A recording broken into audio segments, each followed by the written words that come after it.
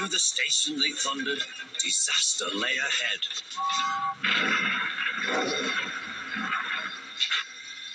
Something sticky splashed all over James. He had run into two tar wagons and was black from smoke box to cab. He was more dirty than hurt, but the tar wagons and some cars were all to pieces.